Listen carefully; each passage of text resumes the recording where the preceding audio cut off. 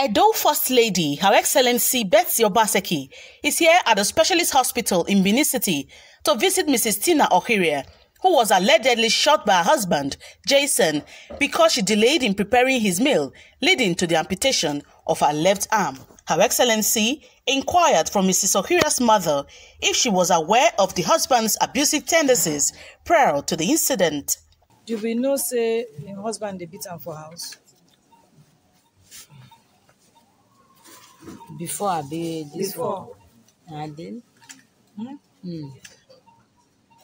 you know say im husband dey beat am before now Mm. then wetin una do Mommy, wetin I go do? Sometimes uh, go pack load go my, my pikin go come take am go still stay there go still come beg say make e still come house go say because of the children because of the children because of the children na women dey suffer dem go stay see wetin im don do eh? Because of children. Im be the problem with women. Go dey for house marry yeye man. Wicked bad man you go say because of children you go say until e kill person. The First Lady advised other married couples to explore the provisions offered by the State Ministry of Social Development and Gender Issues in cases of abuse, rather than suffering in silence. So you do not stay in a situation where somebody is abusing you. He has no, he did not create you. So he has no right, whether it's your husband feeding you and your children or not. He has no such right. So as soon as you see it happening, you go and report. Then they come and stop it to save your life and your children's lives. But women stay, they don't stay. They're afraid. You stay there, you're afraid, and one day something bad happens. Is that what we want? You must pick up. What can he do? You go and report, they come and correct him. If they see that ah, this one cannot change you before he kills this woman, oh, they not take you away, arrange something. Save your life. Your life is more important. What is marriage?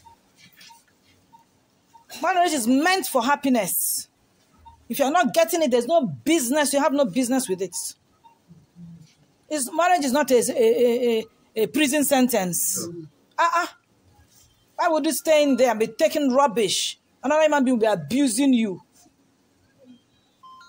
And you keep quiet. Who born him? The First Lady emphasized that the husband, Mr. Jason, will face the full weight of the law for his actions.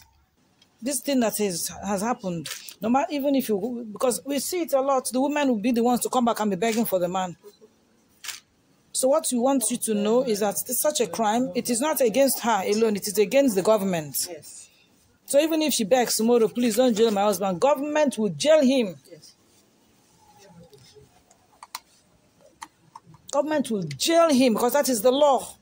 So that others will learn a lesson. And this kind of madness going on in this country and in this state, people will learn that if you try it, you end up in jail. So it will stop. Women will stop suffering this kind of nonsense in the hands of madmen that they call husbands.